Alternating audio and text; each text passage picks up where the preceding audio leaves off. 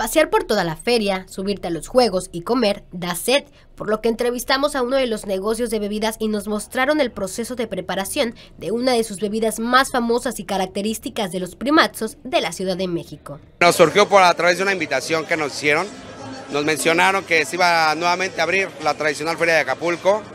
Y bueno, nos animamos, ¿no? Nos animamos, tan delicioso que es aquí. Nosotros manejamos lo que son micheladas, eh, litros, litros de Torres, Bacardí, vodka, lo que ustedes gusten y manden. Y también los pitufos, ¿ya, ya los conoces? El pitufo original tal cual, lo estamos manejando, lleva vodka. Si gustas, podemos ver cómo lo prepara. Un pitufo, hermanito. Lo escarchamos con Miguelito, el Miguelito es este azul.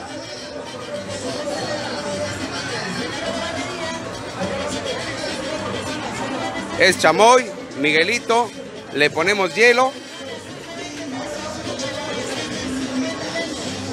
Una medida de vodka. Ese caballito es de dos onzas.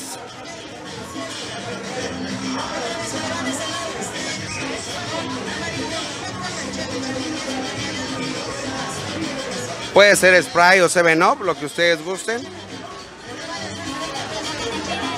Lo que me pidan, claro. Está su energetizante. Curazao.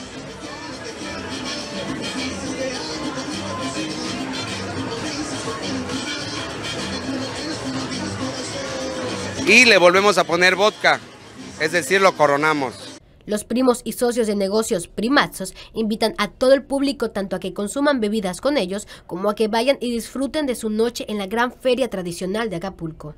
Me encantaría decirles que vuelvan a regresar con nosotros.